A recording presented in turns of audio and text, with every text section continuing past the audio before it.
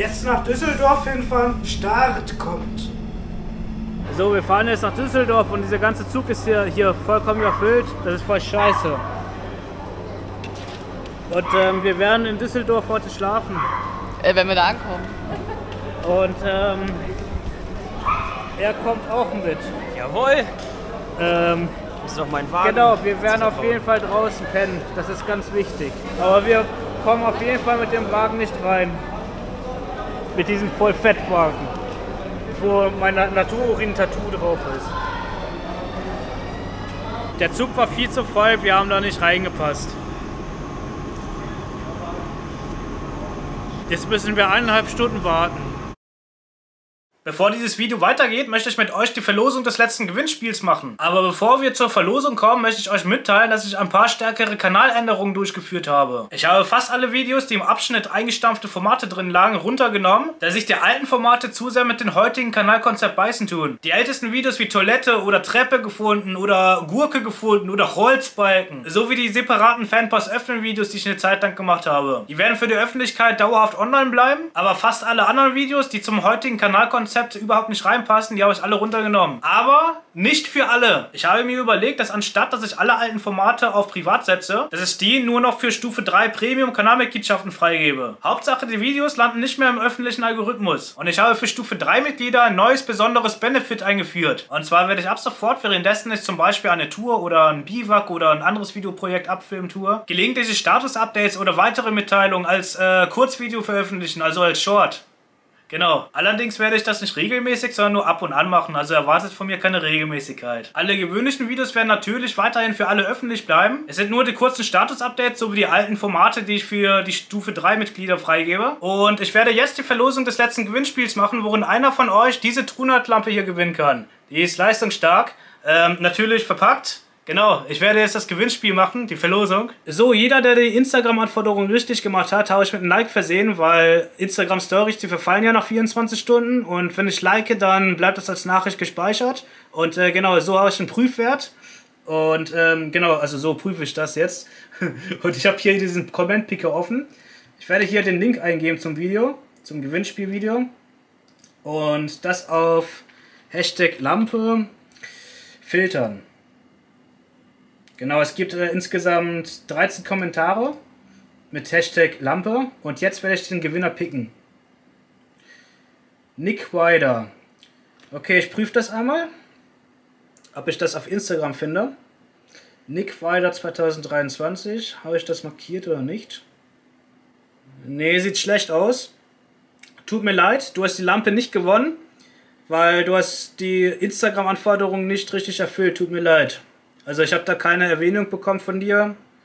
Und äh, genau, deswegen werde ich einen neuen Gewinner picken. Big Boss Jos Grabs Meister.3der Instagram-Name. Tut mir leid, ich habe dich auch nicht. Deswegen muss ich schon wieder einen neuen Gewinner picken. Das wird immer spannender.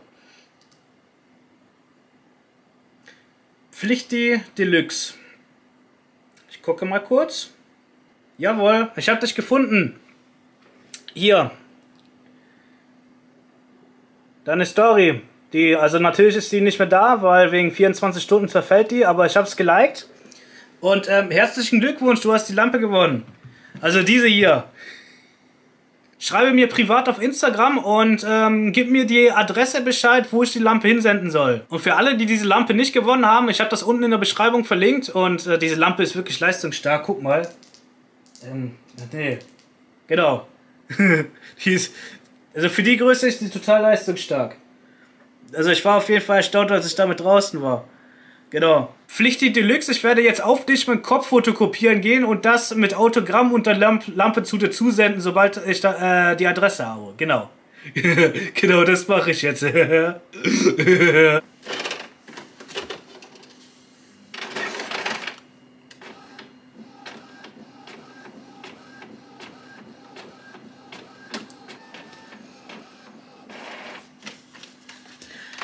so sieht das Bild aus. Das ist ein richtig geiles Bild. So sieht mein fotokopierter Kopf aus. Ich werde den jetzt über, äh, unterschreiben. so, ich werde jetzt Urinautogramm machen. Hier sind ein paar Striche drauf, wo mein Drucker ein bisschen zu vertrocknet ist, aber egal. Ich werde das mit den Strichen und den Urinautogramm mit der Lampe mitschicken. Ich werde jetzt einmal kurz rausgehen und ein paar Bierpaus nachholen und danach beginnt das eigentliche Video. Gepost. Ich grüße Michu M. Ich grüße Ralf Schmergel. Ich grüße Daniel F. Auf dich werde ich jetzt fünf Stück machen gehen. Bierpower 1, Bierpower 2, Bierpower 3, Bierpower 4, Bierpower 5.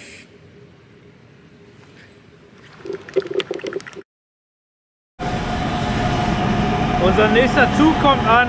Wir werden jetzt hier einsteigen. Guck, oh, da ist eine Brücke vorbeigefahren. Das ist richtig geil. Oh, das war, oh, das war richtig spektakulär. Es klang so, als ob du da so einen fetten Lost Place gesehen hättest, aber es war nur eine scheiß Brücke. So, weil diese Bahn auch so voll war, wurden wir nach oben hochgescheucht äh, zur ersten Klasse. Weil hier war leer. Deswegen sind wir jetzt hier oben in der ersten Klasse. Wir fahren gegen unseren Willen erste Ähm, Klasse, das muss genau. man sich mal vorstellen. Wir wollten zweite Klasse eigentlich nur fahren. Das ist richtig widerlich und ekelhaft und schrecklich. Weil die Sitze sind ja viel bequemer als unten, das wollten wir. Wir haben nur zweite Klasse verdient. So, wir sind jetzt hier in Düsseldorf angekommen und ähm, genau mit ganz viel Verspätung, weil wir die ganzen Züge nicht erreicht haben. Genau, und deswegen sind wir jetzt in Düsseldorf angekommen und wir werden heute irgendwo hier in Düsseldorf pennen. Das wird richtig geil sein, wenn wir unseren Pennplatz suchen gehen. Guck mal, guck mal hier. Äh, hier vorne ist eine Figur mit ähm, Fotografie, äh, Paparazzi. Äh, Aggregatzustätten, genau. So, wir haben gerade einen Zuschauer getroffen und wir fahren jetzt mit dem Bus weiter nach keine Ahnung wohin.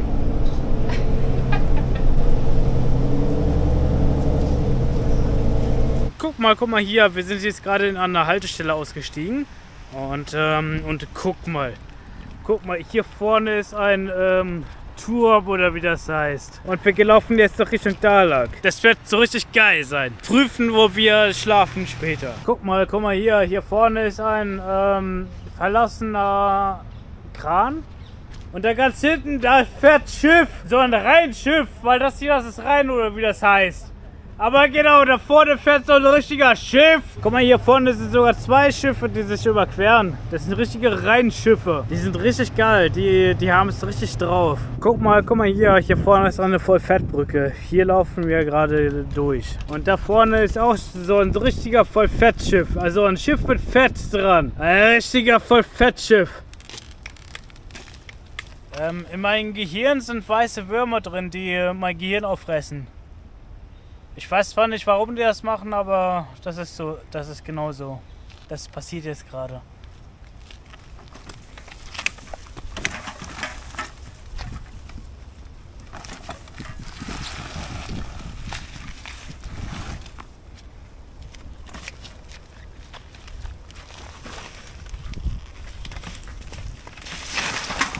Ui, du hast echt immer Glück bei Abstiegen. Italien 2.0. Ich bin auf mein Rektum gefallen, das ist geil. Das könnt ihr alle mir nachmachen. Das ist richtig voll cool. So, wir haben unseren Schlafplatz gefunden und äh, genau ähm, hier, das ist, das habe ich aufgebaut. Hier werden ich und Bianca drunter schlafen und äh, hier wird mein Bruder drunter schlafen. Ich habe bestimmt irgendwie fünf, sechs Mal diesen Scheiß, da hab noch mal neu aufspannen müssen, weil dieser scheiß Boden hier so scheiße sandig ist. Und ähm, das, das war richtig scheiße gewesen, das hier aufzuspannen. Gleich bekommen wir Besuch. Genau, das wird so richtig geil sein. Wir freuen uns drauf. Der kommt gleich. So, ich werde jetzt Nudelwasser äh, anmachen. Ja, genau, das ist richtig geil, Nudelwasser äh, drauf zu machen.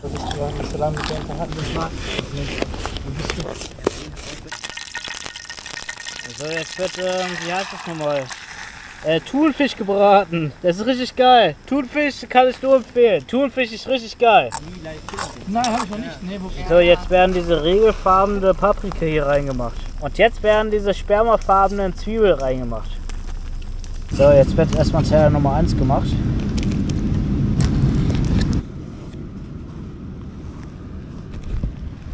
Für den Herrn Bettin. Dankeschön. Das ist ben Dennis Bettin. Er hat ähm, in der Vergangenheit wirklich coole Sachen gemacht. Äh, du bist äh, von Wilhelmshaven bis zur Zugspitze in 17 Tagen äh, fast durchgelaufen. Genau, aber nur bis zur Hälfte. Also ich musste ja aufgeben wegen der Nierenentzündung. Mein Freund hat es dann geschafft. In 16 Tagen war es dann. Das ist krass. Das ist eine extrem krasse Leistung. Und du bist 700 Mal. Ähm, 713. 13 Mal vom 730. 3 Meter Brett gesprungen. Das stimmt. 713 Mal vom 3 Meter Brett gesprungen. Das stimmt, genau. Und äh, war 95 Kilometer Schneeschuhlaufen bei minus 25 Grad in Bayern Ja. äh, in 24 Stunden. Und äh, zwei Wasserrutsch-Weltrekorde. Auch 24 Stunden lang auf einer Wasserrutsche 50 Kilometer gerutscht in Erding in München. Sind die alle noch aktiv, deine Welt? Die sind alle noch aktiv, ja. Oh, geil. Die, sind, die stehen auch im Guinness-Buch. Das ist, das ist Die geil. stehen, kann man auch googeln noch. Das ist alles. Ich habe auch die Urkunden dann zu Hause noch. Alle fünf. Geil. Googelt nach äh, Dennis Bettin. Unbedingt. Genau, wer das mal sehen möchte, den Wahnsinn, dann äh, kann sich das gerne anschauen. Da weiß er, glaube ich, alles drüber dann. Also man kann alles nachlesen. Und der hat so eine ganze. Ja, große. Da statt mal eine zu kaufen und die einfach nur wieder aufzufüllen, ne? Mit der großen, ne? Hier, Dankeschön. bitteschön.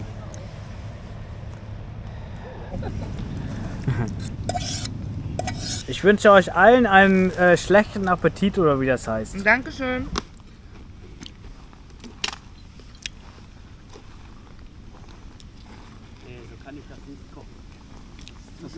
Das schmeckt ähm, voll schlecht, ich mag das nicht. Schmeckt gut. Wo ist die? Da ist die. Eine Ratte. Die haben wir natürlich an. Die Ratte haben wir natürlich hier angelockt mit unserem Essen. Ratten sind voll cool. Die klauen unser Essen oder, oder wie das heißt. Geil, guck mal hier.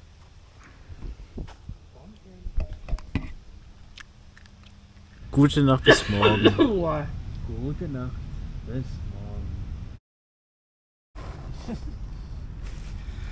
Guten Morgen, es ist nass und feucht. Das ist richtig geil.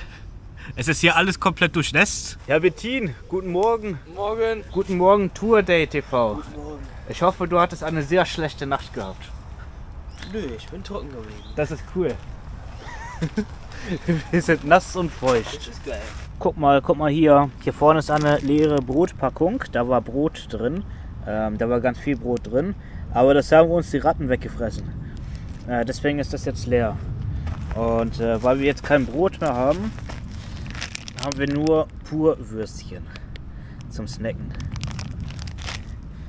Aber genau, weil die Ratten das hier aufgefressen haben. Und zwar hier haben die ein Loch reingegessen und das dann aufgegessen.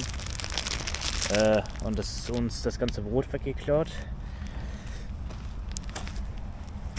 Wird das hier jetzt ins Mülleimer reingemacht.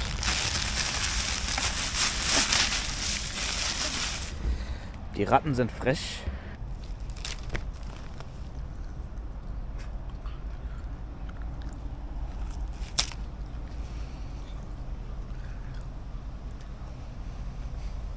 Buche kann man essen. So, ähm, mein Bruder hat seinen Tab abgebaut und auf diesen Lattenrost, was hier rumlag, er hatte drauf gepennt.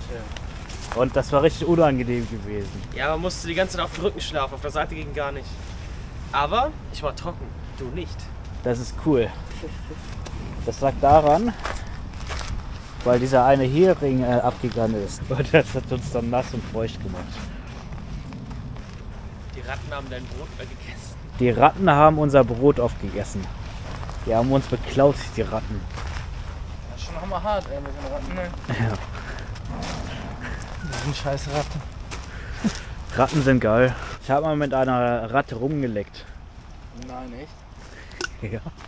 Bei dir sind äh, Ratten unter dein, dein Rost gelaufen, ne? Ja, unter meinen Schlafplatz durch. Das ist cool. Und haben Geräusche gemacht. dein Brot gefressen. Das ist richtig geil. Vor allem, warum fressen die unser Brot auf? Das ist doch total, das ist total dreist. Das hat äh, Koffein hergestellt. Jetzt Koffein saufen Start kommt.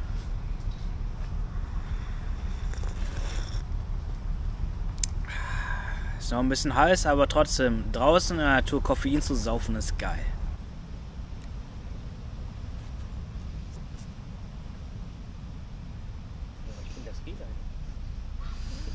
Das ist ein Schokoladenbrötchen.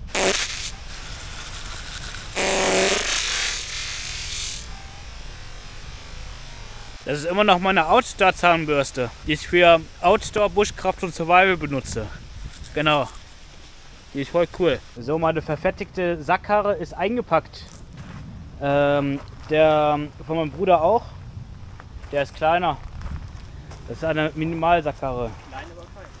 Und jetzt laufen wir zu keine Ahnung wohin. Guck mal, da drüben, da fährt ein düsseldorflicher Schiff lang. Also so ein richtiger Vollfettschiff. Ein Schiff mit Fett dran. Vollfettschiff. So, wir sind gerade gestartet. Und äh, mein Müllsack ist natürlich aufgerissen. Das muss ähm, zusammengenäht werden oder ein neuer Müllsack. So, ich habe da neue Müllsäcke dran gehangen und das da reingemacht. Damit kein Müll mehr runterfällt, dass wir das dann aufheben müssen. Genau, deswegen habe ich das hier dran gemacht und da, drauf, äh, da reingemacht. Aber ich habe wenigstens Grip unter den Schuh. Ja, ja, das geht. Das erste Stück der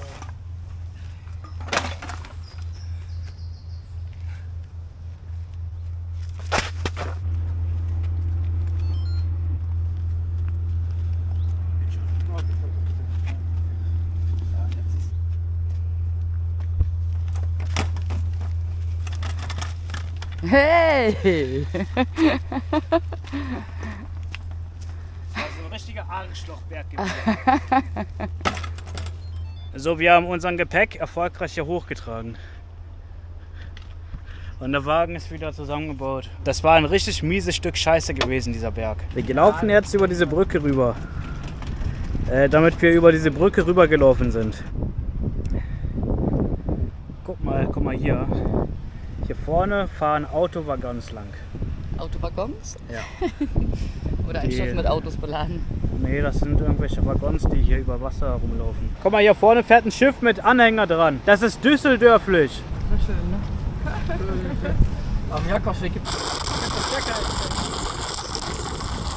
Das ist Trinkwasser, äh, was trinkbar ist. so, wir sind jetzt an einer Bushaltestelle. Und ähm, gleich fährt unser Bus zu irgendwo anders hin.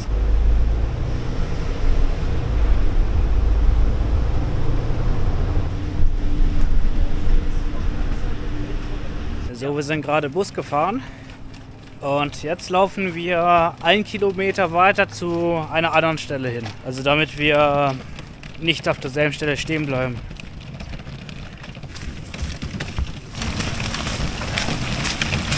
Guck mal, diese Blumen hier vorne, die können Sonnenblumenöl rausspritzen. Das können die wirklich. So, wir haben hier einen Bäcker gefunden. Wir werden da jetzt erstmal ähm, ein Brötchen oder sowas holen.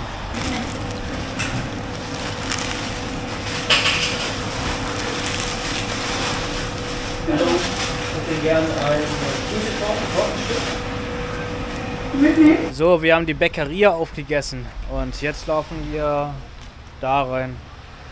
Das ist ein, ich weiß nicht, Oldtimer oder sowas. Ausstellung. Genau, so ungefähr. So eine Ausstellung für Oldtimer. Also alte Fahrzeuge und sowas. Da gehen wir jetzt rein. Guck mal, erstes Oldtimer-Auto gefunden. Der hier, der sieht voll cool aus. Äh, und hier vorne stehen noch mehr Autos rum. Also so einen richtigen voll Altautos. Autos mit Alt dran. Äh, hier vorne sind ganz viele Motorräder, äh, auch mit Alt dran. Da vorne ist ein Ferrari mit Alt dran. Und hier vorne sind noch mehr Sportfahrzeuge mit Alt dran. Hier sind noch viel mehr Sportfahrzeuge mit Alt dran. Und hier vorne ist ein zukünftiger Fahrzeug. Hier vorne sind noch mehr Sportfahrzeuge mit Alt dran. Schon wieder Ferrari gefunden. Und hier vorne ist noch so ein Ferrari. Hier vorne ist ähm, ein, genau, Mercedes heißt das. Guck mal, dieser, dieser Fahrzeug, der hat da hinten einen Platten dran. Hier vorne ist so ein richtig geiler Bus. Ich mag diese Karosserie, die sind voll cool. Da kann man drin schlafen und so. Und rumfahren. Und hier vorne ist auch so ein voll Altauto.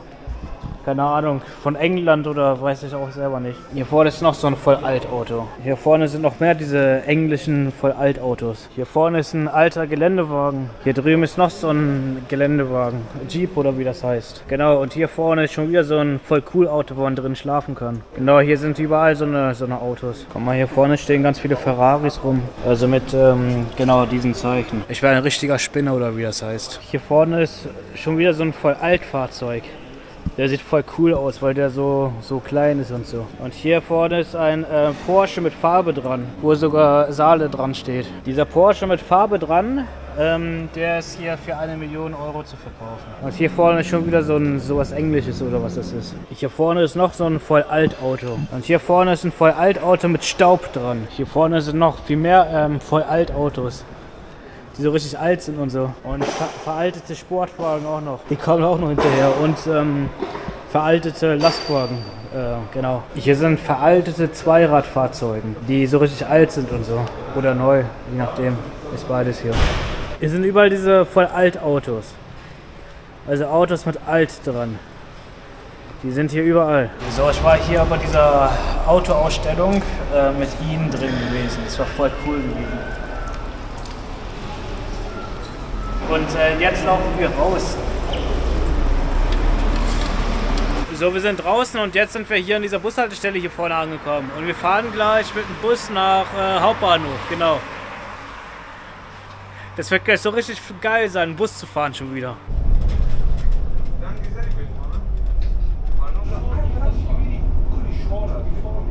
So, wir sind im Bahnhof angekommen. Ähm, und wir werden jetzt hier einsteigen in diesen Zug rein, damit wir gleich Zug fahren können.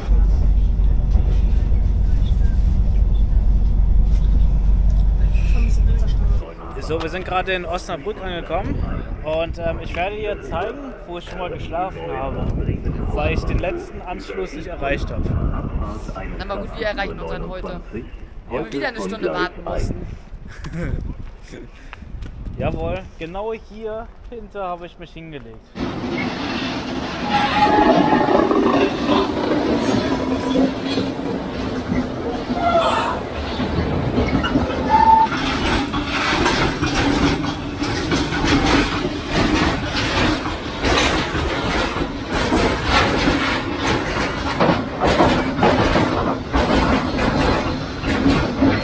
Und hier habe ich geschlafen und, Ja. ähm, und den ersten Zug habe ich dann verpasst, weil ich zu doll geschlafen habe. den zweiten habe ich, glaube ich, auch verpasst. Ähm, aber den dritten habe ich nicht verpasst, weil plötzlich Regen kam und ähm, Schlafen das, kannst du immer sehr gut. ähm, mich das irgendwie ähm, Wachgelegt. Genau, das hat mich wach gemacht. Ähm, aber jetzt sowas hier, zum Beispiel so eine Züge hier, die die ganze Zeit alle paar Minuten hier rumfahren und mich hier belästigt haben. Ähm, ja, das war zwar scheiße gewesen, das war eine krasse Location, aber ich habe trotzdem geschlafen. und jetzt, lau- äh, jetzt laufen wir zum nächsten Gleis Ja. um dort dann unseren Anschluss äh, zu erreichen. Oh scheiße, unser ähm, Anschlusszug ist weggefahren. Das ist voll scheiße. Ähm, normalerweise wäre der äh, 36 weggefahren, aber der ähm, aber nachdem ich jetzt gerade aktualisiert habe, ist der 31 schon weggefahren. Das heißt, wir sind ähm, zu spät. Wir kamen sowieso nicht an den Anschluss ran ungefähr. Für mich ist das eine Normalität. Diese Probleme mit der Bahn. Der Deutschen Bahn. Die ständig, ähm, wo man die Anschlüsse nicht bekommt und ähm, hin und her schiebt und Gleiswechsel macht in letzter Sekunde und sowas. Vor das war sogar Gleiswechsel gewesen. Normalerweise wäre unser Zug da hinten gestanden, wo wir eigentlich ausgestiegen sind. Genau, in der gegenüberliegenden Gleis. Also an dem Gleis, wo ich schon mal geschlafen habe. Da hätten wir eigentlich eingestiegen müssen. Da wäre der Zug gekommen.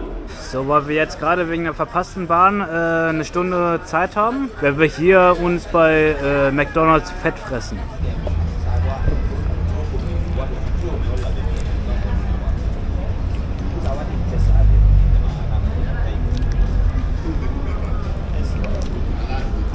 Guck mal, da drüben ist Feuerwerk.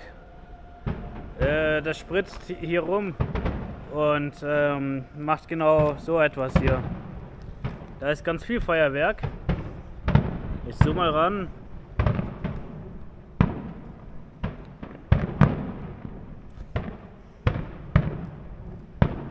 Jawohl. Unser Zug kommt angefahren. Wir werden jetzt hier einsteigen. In diesem Video war ich auch mit meinem Bruder unterwegs gewesen und da wurden wir so richtig belästigt, als wir unter einer Brücke gepennt haben. Das war voll cool. Gebt euch die Belästigung, weil ich will das so.